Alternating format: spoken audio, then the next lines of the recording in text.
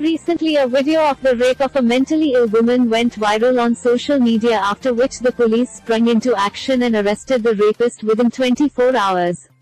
Upon investigation, it was revealed that the rape victim has a five-year-old son. Though the woman could not reveal many details because of her condition, the police said that the woman lives with the kid on the roadside.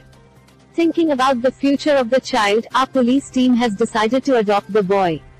We have spoken to Rajkot IG range and Gujarat DGP regarding the matter and have taken approval for the same as well, said Morbi SP Subodh Odedra. He further said that the rape victim and her son are currently kept in a private social institution. After the schools reopen, the police will get the child admitted to one. Moreover, the police have also created a bank account to deposit donations that will cover the cost of studying and living of the child.